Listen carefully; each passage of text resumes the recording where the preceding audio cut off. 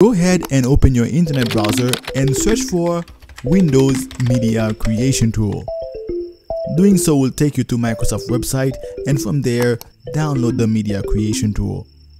I am also including in the video description the website to download the media creation tool.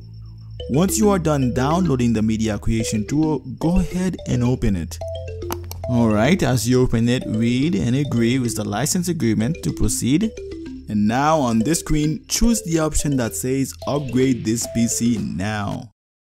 Once you do that, Windows 10 will then download and prepare the setup files for you. Once it is done downloading and setting up the installation files, there you go. You should now see this screen. This is what you want to see. It's going to ask you to choose what to keep. Now, in case you see this screen first and it doesn't say keep personal files and apps, click where it says change what to keep. And look, we have three options. You can choose to keep personal files and apps. You can choose to keep personal files only, or you can choose to keep nothing.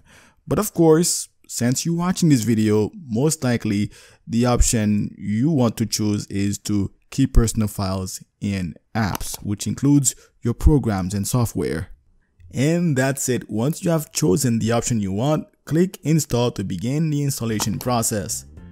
And once it is done, it should reinstall Windows 10 without deleting your files and apps. And there you go, as you can see, in just 2 minutes, you learn how to reinstall Windows 10. So, for more straight to the point, simple tutorials like this that don't waste your time, please subscribe and thanks for watching.